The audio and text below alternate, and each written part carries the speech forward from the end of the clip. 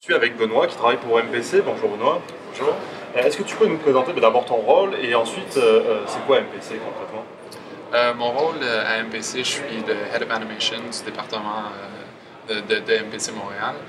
Euh, mon rôle, c'est de superviser les- les- la multitude de projets qu'on a en cours en ce moment. Euh, donc, moi, je m'assure du bon fonctionnement du département. Chaque film a son propre euh, superviseur d'animation. Donc, euh, moi, je mentor les superviseurs, si tu veux, puis je m'assure que le département a le talent nécessaire pour pouvoir accomplir les, les- les besoins des projets. On était à une conférence où tu nous parlais de X-Men euh, Days of Future Past et vous avez fait beaucoup beaucoup de travail, euh, notamment sur les sentinelles et les mutants. Est-ce que tu peux nous parler d'abord de- des- des sentinelles? C'était quoi les principaux défis que vous aviez? Le principal défi, c'est- c'était. euh, ben, premièrement, le, le design est vraiment, vraiment intéressant, sauf que c'était pas vraiment un design qui, tendait à être juste par sa nature, par sa silhouette très, très intimidant. Donc, on a dû faire beaucoup de développement juste pour pouvoir euh, aller chercher le, le body language nécessaire euh, pour que leur présence soit intimidante et, et méchante durant tout le film, euh, qui était le mandat principal des clients. Et puis, puis après ça, l'autre gros défi, c'était qu'on a bâti le département à Montréal en produisant le show. Donc, euh, moi, je devais trouver du talent, former le talent et puis, et puis livrer des shots en même temps. Donc, c'était assez, assez complexe. On a vu les, les sentinelles, pour ceux qui, euh, qui ont vu le film, ce sont des, des- des méchants très impressionnants, très grands. Et euh, justement, tu nous parlais de défis pendant, pendant la conférence parce que ben, pour l'animer, tout ça, pour faire en sorte que les, les acteurs puissent jouer avec, c'était assez compliqué. Comment vous avez travaillé cette partie-là? Euh, avec euh, énormément de références. Euh, donc, comme, j'ai parlé dans la conférence, on n'a pas utilisé le mocap, on a juste utilisé la référence, mais pour tous les plans, sans exception, on, on s'est filmé. On a filmé euh, les animateurs. Il y avait même quelques animateurs qui sont devenus les sentinelles à cause que leur performance était exactement ce que les clients voulaient.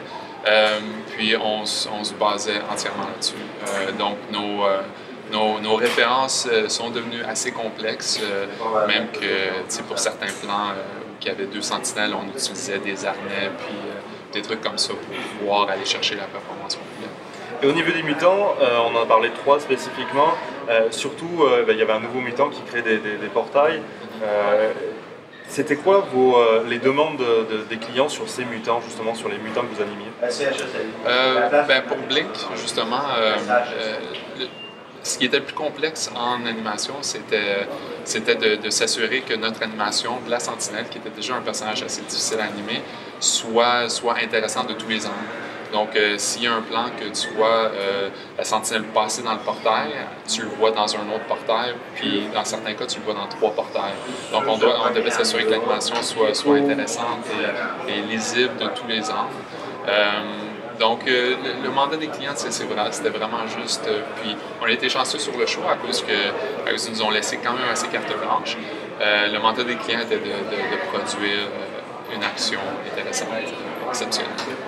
X-Men revient à Montréal et il travaille encore avec, ton studio. Je sais que c'est pas toi qui t'en occupe, mais est-ce que justement votre travail sur, le précédent vous amène des nouveaux challenges encore sur ce nouveau ou est-ce que ben, vous repartez déjà sur une grosse base? Part un peu sur une grosse base. On a déjà euh, des liens établis avec les clients.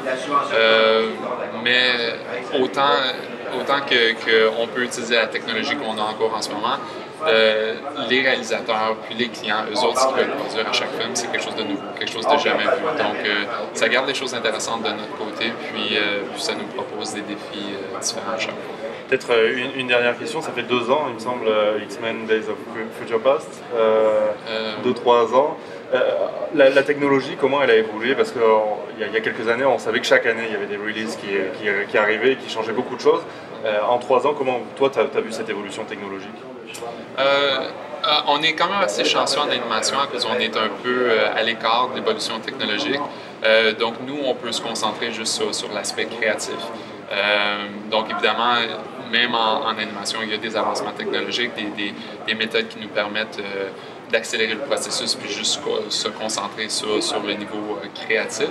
Euh, mais quand même, c'est pas la même chose qu'en writing, en, en dev, des trucs comme ça, des départements comme ça. Donc nous, euh, nous heureusement, on peut juste focuser sur la créativité et la performance. Avant de se quitter, c'est quoi les, projets sur lesquels on peut te retrouver, ceux, que tu as le droit de dire Oui, ben en ce moment, euh, MPC, on est en train de finaliser euh, cinq projets. si je me rappelle bien, il y a le prochain Terminator, Terminator Genesis, Goosebumps, Tarzan. Euh, et puis le, gros en ce moment, j'en manque un, sauf que le, gros en ce moment, comme il est en pleine livraison, c'est Fantastic Four qui sort euh, au début. Merci beaucoup. Merci beaucoup. Vous pouvez me retrouver sur geeksandcom.com pour parler de nouvelles technologies, jeux vidéo et culture geek.